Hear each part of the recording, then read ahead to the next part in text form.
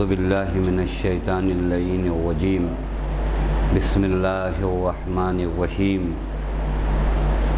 الحمد لله الذي علا في توحده، ودنا في تفرده وجلى في شانه، وعظم في أركانه، وقهر جميع الخلق بقدوته وبرهانه، والصلاة والسلام على أشرف الأنبياء والمرسلين حبیب الہ العالمین، مولا و مولا الثقلین، جد الحسن والحسین، مولانا ابی القاسم محمد۔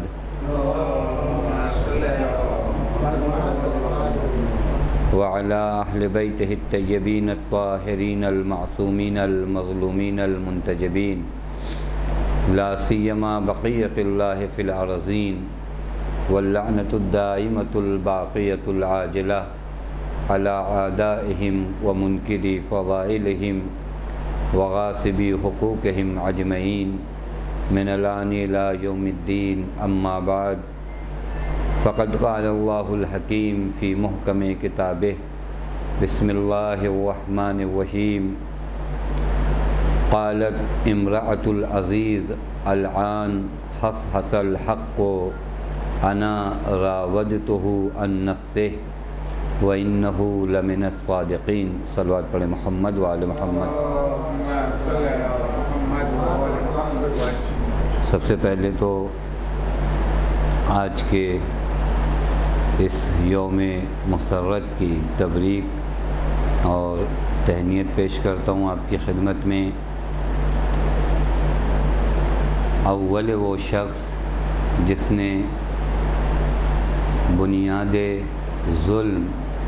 اہل بیت علیہ السلام پر رکھا،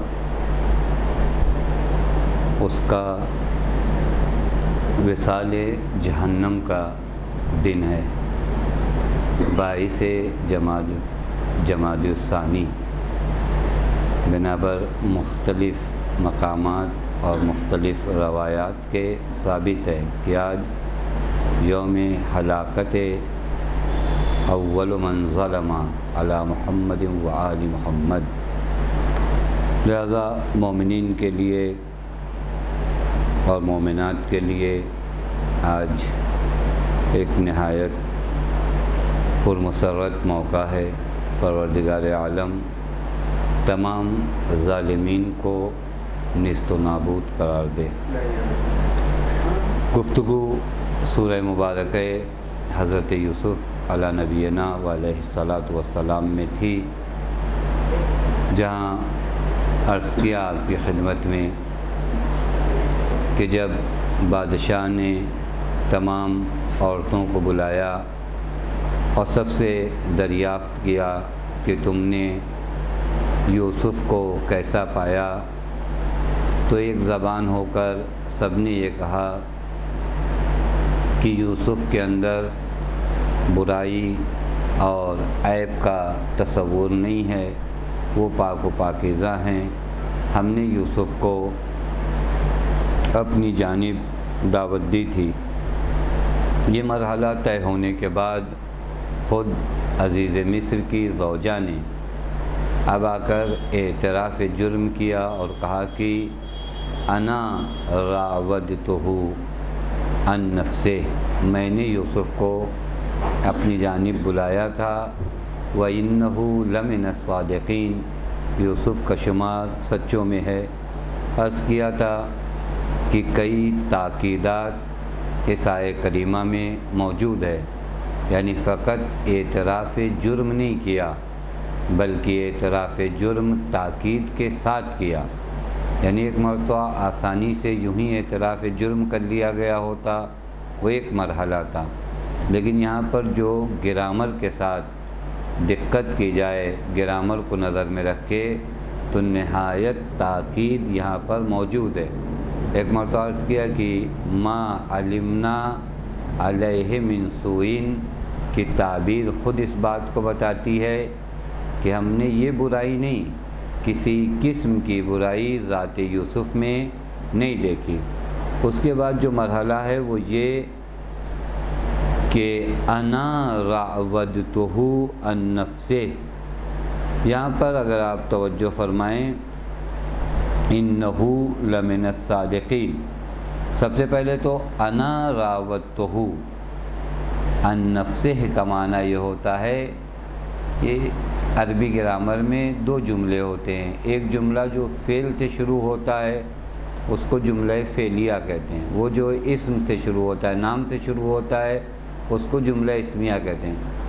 وہاں جہاں پر جملہ جملہ اسمیہ ہوتا ہے، وہاں پر انحصار کا معنی ہوتا ہے۔ جیسے آپ کہتے ہیں، انما یرید اللہ لیوز ہے بان کو وہاں انما جو معنی حسر دیتا ہے، وہی جب جملے کو اس نشست کے ساتھ بیان کیا جاتا ہے، تو یہاں پر بھی حسر کا معنی ہوتا ہے۔ یہاں پر حسر کا معنی کیا ہے؟ انا راوت تو ہوا نفس یعنی یوسف کی کوئی بھی خطا نہیں ہے۔ یعنی اس جرم میں جو کچھ مسئلہ ہے وہ میرا ہے۔ میرے علاوہ یوسف اس میں شریک نہیں ہے۔ پھر اس کے بعد انہو لمن الصادقین کا جو جملہ استعمال کیا، یہاں پر بھی ایک جملہ ان کا وارد ہوا۔ لمن الصادقین، پھر اس کے بعد لمن الصادقین، لام لے کر آئے لام خود تاکید کا معنی دیتا ہے کہ حتمن و حتمن یوسف کا شمار سچوں میں۔ لہذا اس کیا کہ یہ مسئلہ ایسا نہیں تھا کہ خالی شہادت تھی، بلکہ شہادت تاکید کے ہمراہ تھی۔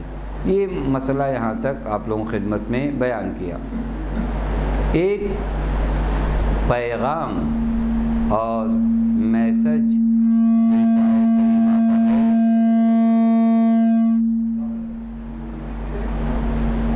ایک پیغام اور جو میسج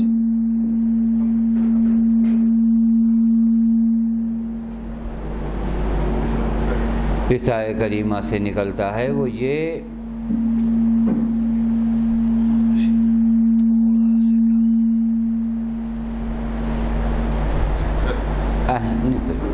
اہم پیغام ہے قرآن کریم کا کہ جہاں پر زوج مصر نے کہا، الان حس حسل حق۔ وہ پیغام یہ ہے کہ حق کو اور سچائی کو کچھ دنوں کے لیے، کچھ مدت کے لیے آپ اندھیروں میں رکھ سکتے ہیں، ظلمتوں میں رکھ سکتے ہیں۔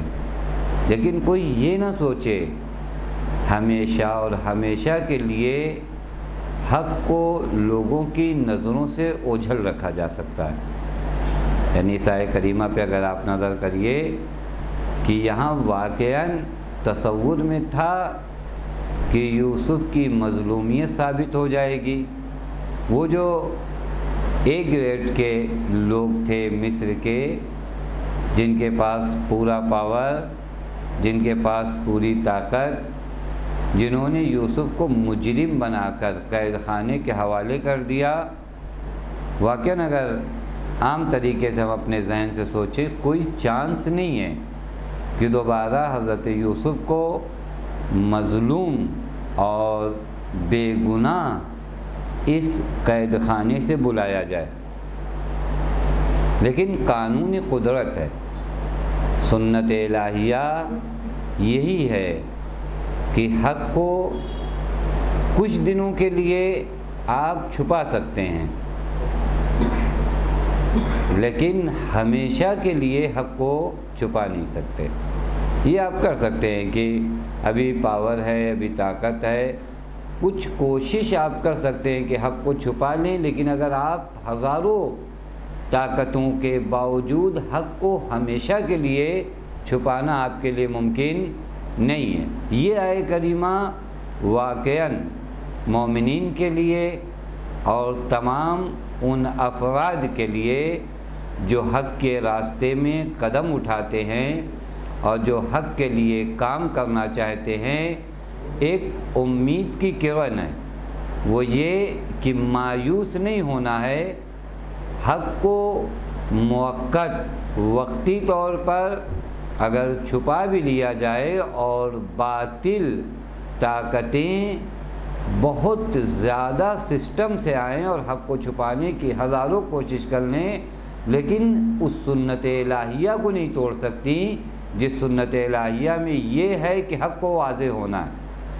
اور یہاں پر پورا سسٹم اگر آپ دیکھیں کہ زلیخا بھی کوئی معمولی عورت نہیں، اس کا شوہر بھی کوئی معمولی شخص نہیں اور یوسف ظاہراً ایک عام آدمی ہے، گرچہ باطناً اور معنوین یوسف کا مقام بہت بلند و بالا ہے، لیکن یوں حضرت یوسف پردیس میں، جہاں مصر میں کوئی آپ کا جاننے والا بھی نہیں ہے، کہ ایک آدمی، کبھی کبھی یہ ہوتا ہے کم سے کم ہمارا قبیلہ تو کم سے کم آگے بڑھے گا کہ بھائی hمارے آدمی کو آپ نے جیل میں اور قید خانے میں کیوں رکھا؟ اس مصر میں یوسف کا کوئی ظاہراً حامی موجود نہیں ہے جو یوسف کی جانب سے یہ کہہ سکے کہ خوب اسے قید خانے میں کیوں رکھا گیا؟ جو ایک وکیل طے کر سکے، جو کوئی جج کے پاس کورٹ میں کباوت میں کہیں جا، کوئی نہیں ہے۔ لیکن یوسف کے پاس جو سب سے بڑی طاقت ہے، وہ طاقت ہے حق۔ کہ یوسف حق پر ہیں۔ اور سنت الہیہ یہ ہے کہ حق کو ہمیشہ ہمیشہ کے لیے پردے میں نہیں رکھا جا سکتا۔ اگر عام طریقے سے یہ حق واضح نہیں ہوا، تو وہ دن دور نہیں ہے جب حق تعالیٰ غیر عادی طریقے سے حق کو واضح کرنے کے لیے وہ اسباب فراہم کرے گا جو انسانی تصور سے کہیں بلند و بالا ہوں گے۔ اور دیکھیں، ہوتا یہی ہے کہ ایک بادشاہ خواب دیکھتا ہے۔ خواب کی تعبیر کوئی بتا نہیں پاتا۔ جناب یوسف ایسی تعبیر خواب جو من جانب اللہ ان کو عطا ہوئی تھی، بتاتے ہیں کہ بادشاہ کو پسند ہے اور سب کو معلوم ہے کہ تعبیر خواب حتمن و حتمن یہی ہے، وہ پورا سلسلہ کہ دو آدمی اس سے پہلے بھی خواب دیکھتے ہیں اور ان میں سے ایک کو سات سالوں بعد یاد آتا ہے۔ یہ سارا سسٹم کس لیے ہے؟ تاکہ وہ حق جو پردہ ظلمت میں ہے اسے باہر کیا جائے۔ لہذا زلیخا نے شاید یہ جملہ بیتاب ہو کر کہا ہو، اور کوئی چارہ کار نظر نہ آیا ہو، اور اس نے کہا العان حس حسلک اب میں کیا کروں؟ میں نے ساری کوشش یہ کر لی تھی کہ حق پوشیدہ رہ جائے، لیکن آج اسی بھرے دربار میں جہاں یہ سب میرے اپنے، میرے قرابت دار، میرے رشتہ دار، میرے عزیز، میرے ماتحت رہنے والے، یہ سب اعتراف جرم کر بیٹھے، اب حق کو چھپانے کا کوئی اور ذریعہ میرے پاس موجود نہیں ہے۔ لہٰذا ایک چیز جو چائے کریمہ سے ہم آپ کو پیغام ملتا ہے، وہ یہ کہ حق چند مدت کے لیے، اختصاری مدت کے لیے اگر چھپا بھی لیا جائے تو ہمیشہ کے لیے حق کا چھپانا غیر ممکن ہے، چونکہ سنت الہیہ یہ ہے کہ باطل کو نابود ہونا ہے اور حق کو سامنے آنا ہے۔ اور یہ ہمارے پاس متعدد واقعات ہیں جو آپ کی نگاہوں میں اور نظروں میں بھی ہیں کہ کس طریقے سے حقوق کو چھپایا گیا۔ لیکن وقت گزرتے گزرتے وہی حق جنہیں ظالموں نے چھپانے کی کوشش کی۔ حق تعالیٰ نے انہی کی زبان سے اسے ادا کروا۔ اس طرح کے متعدد واقعات آپ کے ذہنوں میں ہیں۔ اس مسئلے کو اور زیادہ نہیں طول دیتے۔ بس اتنا سمجھ لیجیے کہ ظالم اور باطل، اس کی ظاہری طاقت آپ کو نظر آتی ہے۔ بس اہل حق ایک کام کریں۔ اہل حق دامن صبر اور دامن حق نہ چھوڑیں اہل حق دامن صبر کا مطلب یہ نہیں ہوتا کہ آپ خاموش بیٹھ جائیے۔ نہیں، اہل حق اپنی جستجو جاری رکھیں، لیکن مایوس ہونے کی ضرورت نہیں ہے، پریشان ہونے کی ضرورت نہیں ہے، جستجو کرنے کی، صحیح و تلاش کرنے کی ضرورت ہے۔ دین یہ بھی نہیں سکھاتا۔ کہ آپ اپنے گھر میں خاموش بیٹھ جائیے اور کہیے خدا کا دین خدا بچائے گا۔ نہیں، حتیٰ اللہ تعالیٰ کسی قوم کو متغیر نہیں کرتا، چینجنگ نہیں لاتا، مگر یہ کہ جب تک وہ قوم خود چینجنگ کے اسباب فراہم نہیں کرتی۔ قرآن کی یہ آیت بھی ہے اور دوسری طرف سے مایوسی، ان دونوں کو اگر جمع کر دیا جائے کہ مایوسی نہیں کرنا ہے اور خاموش نہیں بیٹھنا ہے تو اس کے بعد ایک راہ امید اور ایک راہ نجات انسان کی آنکھوں کے سامنے نظر آتی ہے۔ حضرت یوسف ان ہزاروں مشکلوں کے باوجود اپنی نجات سے مایوس نہیں ہوئے ہیں۔ عبودیت خدا بندی کو نہیں چھوڑا ہے، اپنے راستے سے منحرف نہیں ہوئے۔ اسی حق پر باقی رہے اور اسی حق کو اجاگر کرنے کی کوشش میں مصروف رہے، لہذا حق تعالیٰ نے حق کو اجاگر کیا اور حضرت یوسف، جنہیں نہایت ذلت و خاری کے ساتھ اس جگہ سے ہٹایا گیا تھا، اللہ تعالیٰ نے اس سے کہیں زیادہ عز و شرف کے ساتھ یوسف کو انہی لوگوں کے درمیان لوٹا دیا۔ اب آئیے، جہاں سے آج کی آئے کریمہ شروع ہوتی ہے، وہ یہ ہے۔ ذالک لیعلما انی لم اخن ہو بالغیب و ان اللہ لا دل لا یہدی قید الخائنین۔ اور یہ ساری بات یعنی ابتدا میں جو باتیں آپ کی خدمت میں عرض کیا کہ بادشاہ نے عورتوں کو جمع کیا، عورتوں سے دریافت کیا کہ مسئلہ یوسف کیا ہے؟ انہوں نے کہا، ہم کسی قسم کا کوئی عیب، کسی قسم کا کوئی جرم، کسی قسم کا کوئی گناہ ذات یوسف میں ہم نے نہیں پایا۔ اس وقت عزیز مصر کی زوجہ کھڑی ہوئی اور اس نے کہا کہ حق اب واضح اور روشن ہو گیا ہے۔ میں نے یوسف کو اپنی جانب دعوت دی تھی۔ یوسف کا تعلق سچوں سے ہے۔ یہ تمام اس آیت کی گفتگو تھی۔ یہاں کے بعد جو آئے کریمہ ہے، جہاں پر مفسرین میں ایک مسئلے پر اختلاف ہے، وہ اختلاف انشاءاللہ، اختلاف کی دلیلیں ہم آئندہ جلسے میں عرض کریں گے۔ چونکہ ان دو آیت کے پیغام نہایت اہم ہیں، لہذا وہ پیغام اس اختلاف کی نظر نہ ہو جائے، لہذا پیغام کو پہلے ذکر کر دیا جائے اور اختلافی مسئلے کو بعد میں آپ کی خدمت میں بیان کریں گے ہر دو قول کی اپنی اپنی دلیلیں کہ کیا دلیل کس کی ہے۔ وہ یہ، اصل میں پہلے ترجمہ کریں آئے کریمہ کا، ذالک لیعلما انی لم اخن ہو۔ اب یہاں پہ ترجمہ بھی بہت مجمل کرنا پڑے گا، چونکہ اختلاف ہے۔ لہذا اگر یہ کہا جائے کہ یہ ساری باتیں اس لیے ہے کہ وہ جان لے، مجمل ترجمہ کریے ابھی۔ یہ ساری باتیں یعنی جو میں نے، اب کس نے یہ کہا؟ ابھی اس مسئلے کو رہنے دیجیے ساری باتیں۔ اس لیے ہے کہ وہ جان لے، اسے معلوم ہو جائے کہ میں نے اس کی عدم موجودگی میں یعنی اس کے نہ ہونے کی صورت میں، اس کے ساتھ خیانت نہیں کی۔ یہاں پر علماء کے درمیان جو اختلاف ہے، دلیل اختلاف بعد میں عرض کریں گے، وہ اختلاف یہ ہے کہ یہ دو آیت، یہ آیت اور اس کے بعد والی آیت، وہ جناب یوسف کا قول ہے۔ یہ آیت اور اس کے بعد جو آئے کریمہ ہے، وہ جناب یوسف کا قول ہے کہ جناب یوسف نے کہا کہ جو میں نے کہا، یہ جو میں نے بیان کیا، جناب یوسف نے کیا کہا تھا؟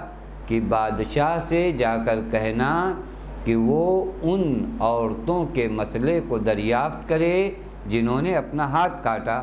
اب اگر اس بات کو ہم جناب یوسف کی بات مانیں، تو اس لحاظ سے ترجمہ اس طرح کرنا پڑے گا کہ جناب یوسف یہ فرما رہے ہیں کہ وہ مسئلہ جو میں نے چھیڑا، میرا مقصد اور میرا ہدف یہ تھا تاکہ وہ جان جائے۔ اب جب جناب یوسف کی بات آپ کریں گے تو وہ جان جائے کا ترجمہ آپ کریں گے کہ تاکہ عزیز مصر جان جائے کہ میں نے خیانت نہیں کی اس وقت جو جب جس وقت وہ ہمارے درمیان موجود نہیں تھا یعنی جس وقت اس کی بیوی نے مجھے دعوت دی، میں اس کی جانب نہیں گیا، تو عزیز مصر کے لیے یہ بات واضح ہو جائے کہ اس عالم میں بھی میں نے اس کے ساتھ خیانت نہیں کی، چونکہ ان اللہ لا یہدی قید الخائنین۔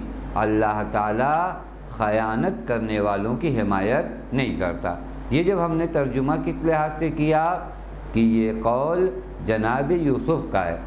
لیکن بعض مفسرین کہتے ہیں کہ یہ آیت اور اس کے بعد والی آیت اور نہایت اہم پیغامات دونوں آیت میں یہ آیت اور اس کے بعد والی آیت یہ زلیخا کا قول ہے۔